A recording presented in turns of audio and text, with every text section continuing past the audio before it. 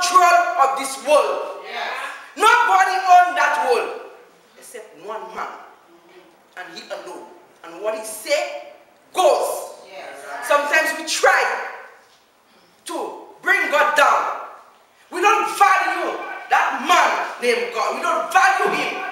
We bring him down, and so we know of nothing.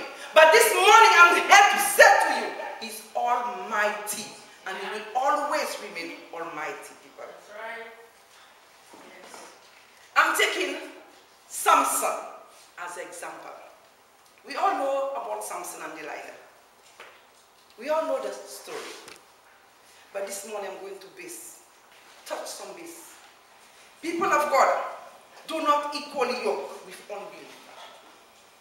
And many times we yoke ourselves with the unbeliever. Samson knew he was anointing man of God. Samson knew his position in the Lord. And he did what was right in the eyes of God.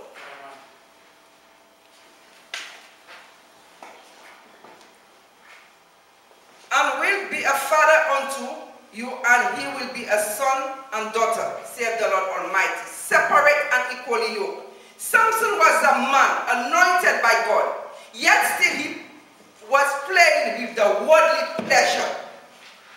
Many times we call ourselves anointing, powerful man of God. Yes, God have those people. And yet still we are playing with the worldly pleasure. But today I'm here to say to you all, stop playing with the worldly pleasure. Do not equally yoke. Samson's behavior was so classic that everyone must learn something from him. When you study the book of Judges, 14 down to 16, you will see what Samson, how he lived his life, and what become of him at the end. Example, that was the state of Samson. He had a religious separation side of him, which was shown by the fact that he never had to cut his hair. Example, yet still, he was unequally yoked to the things of this world. They are born again children, child of God, who separate themselves from the world, but yet still they live in sin. We call ourselves born again child of God. We repent, we baptize, and yet still we are out there in the world, in this sinful world, equally yoked with unbelievers. Today I'm here to say to you, the time has come when we need to listen to what God has to say to us. And do not be rebel and disobedient. Samson was also practicing another kind of quiet spirit. How can you be a born again child of God, living for God, and yet still you are out there doing all evil kind of things? Church, it don't pay. For a people, somebody call himself born again child of God. And let me explain something. It's very important. When I know for sure, when I went down underneath that water the day I get baptized, when I come out from that water, I was never the same person. Amen. That's the Lord. And people say, Hallelujah. when they go down underneath that water, my pastor said it will take time. It will take time? No way. That is not true. When I went down underneath that water and I come out, I was a different person. Because all my sins was washed away. I was a different person. Because the anointing of God came upon me when I was underneath that water. And this is Hallelujah. who I am today. It was the blood cleansed me. It was the blood that washed me. It was the blood that made me who I am today. Hallelujah. Many times, people, we link ourselves with the things of this world. Many times, we have a mission. Many times, God calls us as a pastor, elder, or whatever minister we have to do for the Lord.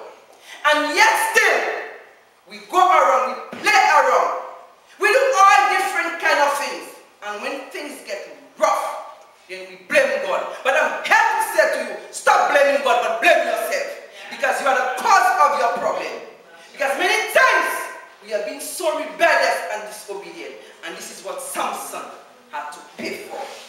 He's disobedient and rebellious. We call ourselves powerful man of God. Then again, when you look at us, you say, is this a man of God for true? Is that sister truly who she called herself to be? People, let us stop. Stop for a minute and let us examine ourselves. Search ourselves and see where we are going wrong. Search ourselves and say, Lord, here am today. I have gone astray, but please pull, um, pull me back. Yes. Sin bring you further than you want to go. Satan take you further than you want to go. Sin is not easy. When someone is out there fornicating, doing all different kind of things, and you think that you will get out of it, no. You have to pay for it. You will go through so much pain that you won't even believe the kind of pain that we go through. Brothers and sisters in Christ, if God call you, or whatever call, gift you have on you, say goodbye to the things of this world. Say goodbye to fornication. Say goodbye to adultery. Say goodbye to all things that is not of God. And live the life that God wants you to live. Yes. Samson's life was one that separates, and yet he was entangled in the world. Many times there are places that we're not supposed to go. People of God, let me make people understand something. People say, oh, Christians cannot enjoy themselves. Who says so? Christians can enjoy themselves more than the people out there in the world. Amen. You come to church on a Sunday morning, song singing.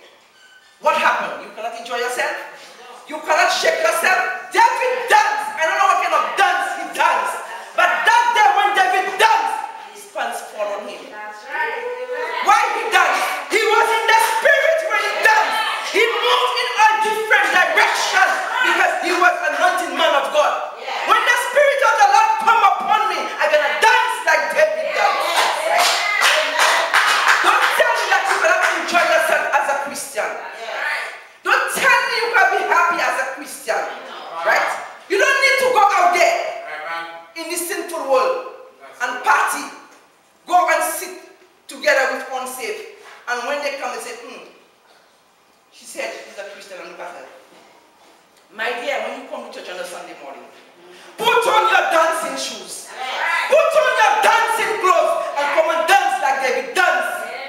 Don't and tell me have to enjoy yourself. I can enjoy myself. I was out there in the world dancing and partying Monday to Friday. Every Saturday I was in a dance hall. But one day, God said to me, don't. I changed my life and now I'm dancing in the Lord. And when somebody says I'm dancing in the Lord, they need not to say a word because I know where I was. Amen. And I know where Jesus took me through. So now I am dancing in the Lord no matter what. I know who I am and I know where God take me through. Yes. Amen. There are many born again people of God who call themselves mighty, powerful man and woman of God, and yet still they equally yoke with unbelievers. There are many people of God who have two personality and two lives. There are also church members who have two personality.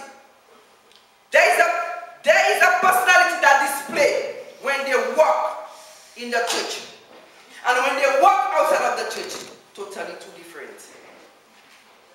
People of God, it's high time we as Christians stop letting the outsiders say things about us. It's the way we carry ourselves. It's the way we display. It's the way we conduct ourselves. People of God, when you look at Christian now, born again child of God, all of us is Christian, that's what people say. But born again child of God, repent and baptize in the Father, Son, and Holy Ghost filled with the anointing, with the power of God, filled with the Spirit of God. And some of us, our dressing, our lifestyle is not different than the people out there in this world. But this morning, there can be a difference. If you only trust God, avail yourself in God. Let God use you. Let God change your life for you. There's nothing God cannot do. Nothing is too hard for God to do. Yes. If He did it for the people, He can do it for me. If He did it for somebody else who was out there in the world, and God bring that person back to Him, there is nothing my God cannot do. There's an example in the Bible that we can follow. There are things in the Bible that God gives us as example that we should follow as believers, born again child of God. But yet still, people of God, we fail to take it serious. We've been disobedient and rebellious against the word of God, but we don't rebel against the devil.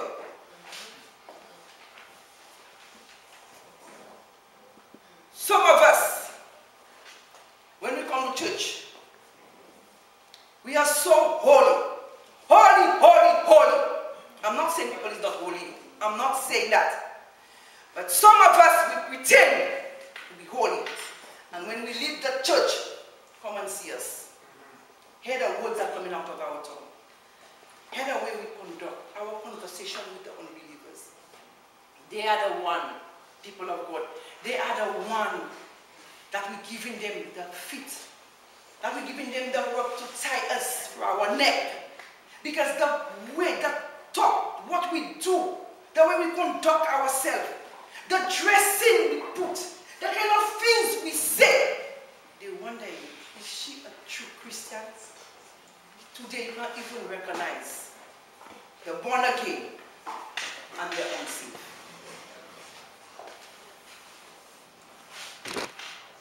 On, but on the other hand, you are playing with the things of this world. Yes, you are just like Samson. People of God, we are playing with God. Samson also played with God. He was wearing his long hair, and he's not supposed to cut that hair. From the time Samson was in mother womb, God told his mother what he wanted of Samson. Many times, God called us to do something that is so important. Every one of us have a gift.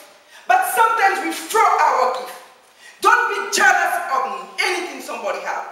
God gave you a gift. Every single one of us have a talent. Where is your talent? Where is your gift? You hide it, and I'm jealous of the brother gift. I'm jealous of because the brother is preaching.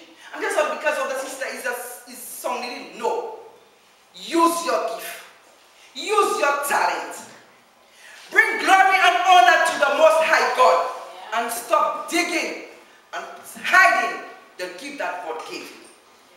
Each one of us has a calling upon our life. If you don't know your calling, ask God. He said, if you lack wisdom, ask. Whatever you lack of, ask God and He will direct you.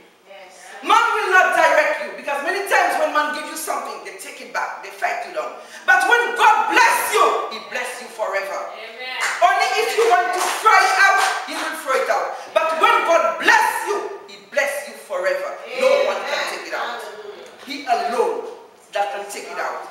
And I'm saying to you, church, whatever gift that God bless you, talent, make use of it. Because one day you won't be there to make use of it. That is why the songwriter said, don't leave unfinished tasks. Whatever task you have to do for the Lord, do it. I sit, I sat down with the gift that I have. Not even my mother that know who I am. Only two of my sisters that have an idea. Nobody don't know. I don't even know who I am. But every day I'm praying to God that one day she will know who I am. Out of those 15 children my mother have, I am the different. I'm different from all of them. And I thank God. I thank God for that gift. I didn't know I had a calling on my life. Hallelujah. I didn't know I had a calling on my life, and I had that calling from a very long time ago. I used to stream and sit down there and see vision. And when I tell you I sit down there and I see the person at their home, and I call and I said, Look, I see you have such a close to this. And they said, Look, you are by my home. I'm saying, No. And I thank God that day when God revealed who I am. And I said, Thank you, Lord. And I can never regret. I did something in life When God gave me message for somebody, I'm saying it this morning. And the person was treating me a kind of every time I bring that message for that person. Until I said, Lord, give me no message just for nobody. I was just like Moses when Moses was going to Pharaoh. And he was saying, Lord, who am I? Will they listen to me? What will they say? And that was what I was saying. Until one day, the Lord said to me, stop doing those things. And that message come from dad. And I was like, oh my goodness. Is that true? He said to me, yes. And I'm saying, brothers and sisters, until God called me back 2008, used a woman all the way from stream of power in Castries and came and called me back and said, I need you. The work that I started in you, I haven't finished. Come back, I need you. And now, no matter what message God gave me for you, I breathe for you. Take it or leave it, my sister. But I do what I have to do because I will not stand there and let nobody stand in my way between me and my God. No. People of God, too many times we sit. Too many times we sit down and we have nothing to do. But this morning I'm saying to you, rise up, people of God. Rise up. They that wait upon the Lord, like the brother said, shall renew their strength. They shall mount up like the eagle. They shall run and not be weary. Ask God to teach you how to wait upon Him. Many times we don't want to wait. Many times we don't want to have those um we don't have patience to wait. But this morning I'm saying to you, if you lack patience, ask God, help me to be able to wait upon you. Lord, I could not wait, but I just wanted to wait. My time has come. I need to wait upon you. I need to listen to you, Lord, because I know that the time will come when you will do what you have to do in my life. Everybody knew that Samson was anointed man of God, separate unto the Lord, walking in the things of God, and a member of a church. However, he wanted to marry an unbeliever. Imagine, you are born again, and that is what is going on in the church. Many times, people of God, we are born again, child of God, and yet still want to go out there and take our own seat to get married to. How can you equally yoke with unbeliever? How can you equally yoke when God said, do not equally yoke with unbeliever? When Samson told his father that, the father said to him, Ask Samson, is there no woman in Israel you can marry? Samson replied, Oh no, this is the girl I want. Imagine. That asked Samson, is there any woman in Israel that you can marry to? Samson replied, Oh this is the girl I want. This is the girl you want. No problem? Yes. That is the girl you want? Go ahead, my brother, and have that woman. But when problem comes your way, please don't call me. Many times people, like I always say, I don't make my children choice for them. They know who they like. They bring the person for me. Yes. I don't want to say I don't want Tom. I don't want Harry. I don't want Dick for you. And you married to Paul and you're going through your problem and you say, oh, it's because of my mother. No. You know what you want for yourself. But many times God is saying to us, I will make that decision for you. I will choose a wife for you.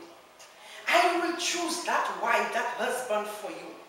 That you will continue to do my ministry. I will give you a wife of my own heart, not your own. I will give your wife after my own heart, not after your own heart. And many times we disobey God. And when things start getting wrong, we blame God. Many times we need, please, we need not to blame God. But many times we need to blame ourselves. Because many times, people of God, we need to listen when God is talking to us. We need to listen and take heed. Let no man deceive you. Let nobody deceive you. They are strange women. And those strange women in the book of Proverbs, they are so. Hmm. you won't believe them. They're not easy. And there's some strange woman in the church. Yeah. And when they come, they come to destroy you. The brothers and the sisters. Even the pastor, if the pastor don't put himself in, the, in, in, in God's shoes, they even drive him away. Crazy. How can you ever think of marrying a complete outsider when you know you are a, a believer separate unto God? It is dangerous to lie to yourself that the wrong thing you do are right. Many things, many times the wrong thing we do, we think it's right, but it's not right. Think first. Pray about it. Many times I people say, oh, I pray to God for a wife. And look at what God gave me. And I believe if you pray to God for a wife, and you pray and you said, Lord, give me a wife after your own husband. I always say, to that tomorrow my husband died, I want a man after God's own heart. If God given me a husband again, it's a pastor a, a true believer, not a unsaved. Believers don't have to get married to no unsaved. When your husband dies, you have to marry to a believer. Don't go out there and take Satan. Because if you go out there to get married to an unsaved, Satan is your father-in-law. But if you stay in God and you look for a believer, oh my God is my So people of God, be careful what we do in our life. Be careful where we go. The person, the kind of person we choose. I'm not being too harsh, but I need to explain that many times we make mistake in life and we regret. But before we go and do something, think first, people of God. Sit and think. Don't do nothing for you to regret. Right? Who God bless, no man curse. And if God bless you with a beautiful wife, a good looking wife, and that is the wife God see that's fit for you. Hallelujah. Hmm. if in the church, you see many times I always say to people, if you don't find a husband in that church, I always have to the sisters in my country, go to that Soufrière church. You don't find in that Soufrière church, go to the Laborie church. You don't find in the, in the church, go to the kind church that churches and look for a husband. there are many husbands, many men. There is no man shortage, people of God. Don't let people fool you. There is song said, man shortage. There